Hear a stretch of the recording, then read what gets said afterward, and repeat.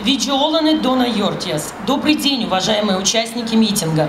От имени работников бюджетных организаций мне, председателю Коми Республиканской организации работников культуры, поручено поднять самую актуальную тему о величине заработной платы.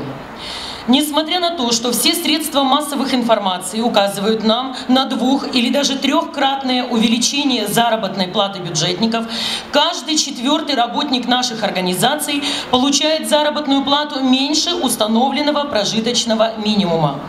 Фактически более 30% работников бюджетной сферы, проживая и работая в условиях Крайнего Севера и приравненных к ним местностях, не получают положенных им северных и районных надбавок, так как, имея должностные оклады от 3 до 3,5 тысяч рублей в месяц, начисление северных и районных коэффициентов является пустой формальностью, учитывая, что их коллеги в южных регионах получают те же 5554 4 рубля без северных коэффициентов. Это минимальный размер оплаты труда по Российской Федерации. А в некоторых регионах этот уровень еще выше.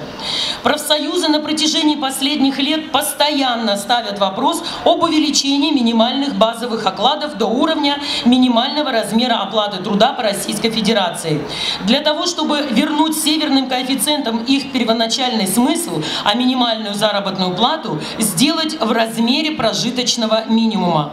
Однако до сих пор все предложения профсоюзов в этой области не находят поддержки правительства Республики Коми и находятся в протоколе разногласий в региональном соглашении по социально-экономическим вопросам между правительством Республики Коми, Федерацией профсоюзов Республики Коми и Союзом промышленников, предпринимателей и работодателей Республики Коми.